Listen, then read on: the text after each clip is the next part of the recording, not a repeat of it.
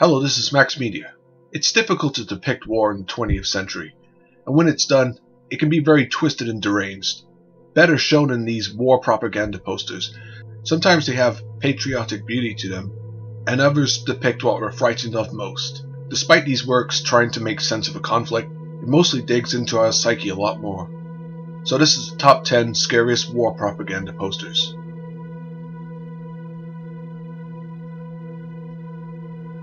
Not as graphic as the others, a knife stabbing the symbol of knowledge hits home gracer than a knife stabbing through flesh.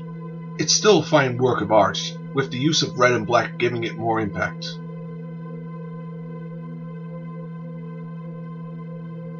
This is a classic. It's a great way of showing dictatorship domination. This anti-Soviet poster shows what Stalin would be if he was mixed with a kraken.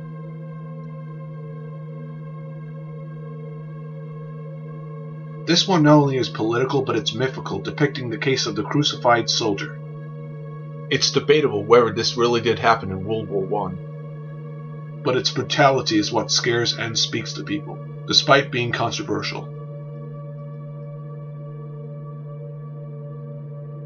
It's very similar to number 9, giving a face to the enemy, creating a simple view of who you're fighting against, but at the same time making it worse.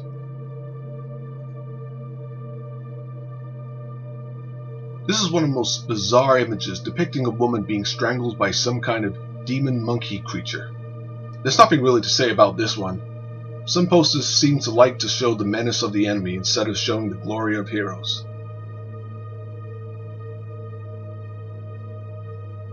I'm not sure what country this poster's from, but it's truly disturbing. The icon of liberty taking off its mask, showing a skull face beneath, laying destruction down on a town. It's always disturbing to see something people take hope in being turned into a force for evil.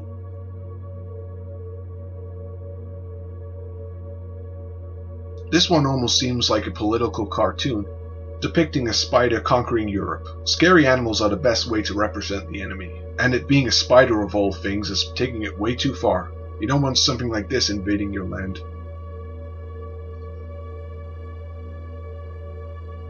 This one is very chilling. Not only it's a bomber, but it's a bomber being flown by a skeleton. The artwork remains great though. Translating a piece of technology into the carnation of evil. It even translates as, to the enemy, dim your lights. This one's truly creative, showing a giant monster laying destruction on... Wait a minute, what is this thing even meant to be? It looks like a monster from a Silent Hill game. It has too much representation to it. It looks like an Americana nightmare-fueled creature.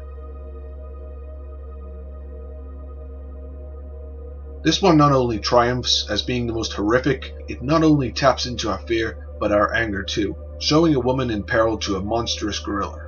This ended being somewhat of an inspiration for the movie King Kong. It almost feels like it was created to stop people from entering into the war.